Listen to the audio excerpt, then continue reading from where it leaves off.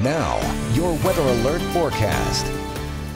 And 3 News Now weather alert meteorologist Audra Moore with this weather update here on the web. Thanks for joining me at 3newsnow.com. We enjoyed more sunshine and temperatures in the 60s and 70s for our Saturday afternoon. Now tonight, of course, we'll be dropping, but it's still going to be fairly mild out there. For most of us, temperatures will fall back down into the low 40s.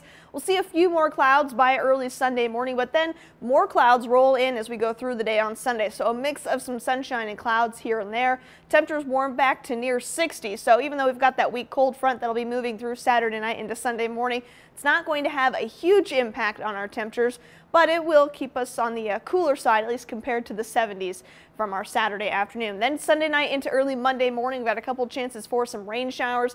This moves through though, and pretty much all of it out of here by about 7, 8 o'clock Monday morning. So tonight, 42 for your low, few clouds, but mostly clear skies. It'll be breezy early before the cold front comes through. Then the winds start to back off once it comes through, and they'll be at the north. Then at that point, around 10 to 15, even 20 miles per hour. So temperatures over the next couple days. Sunday, slightly on the cooler side because of the cold front.